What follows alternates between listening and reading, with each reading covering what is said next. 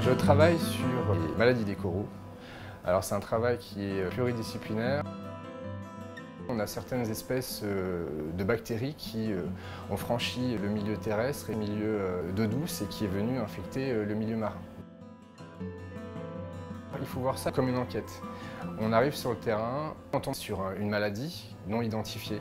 La première chose qu'on fait, c'est qu'on met un transect et on essaye de voir quel est son impact, cette maladie, sur le récif. Donc, quelles sont les espèces touchées?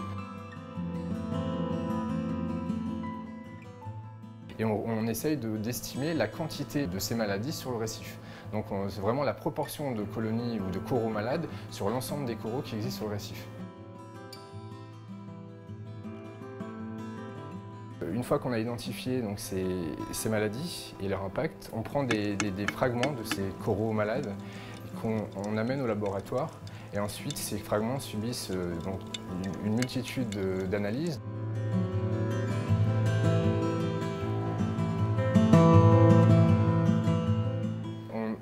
Identifie l'agent ou les agents euh, responsables, donc ça peut être bactérien, ça peut être des ciliés, un champignon.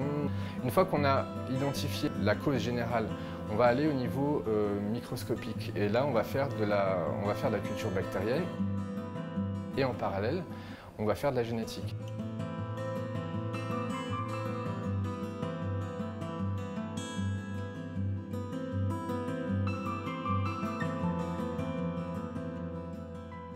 mais l'objectif vraiment final, c'est d'identifier la source pour pouvoir l'éradiquer et limiter le problème ensuite.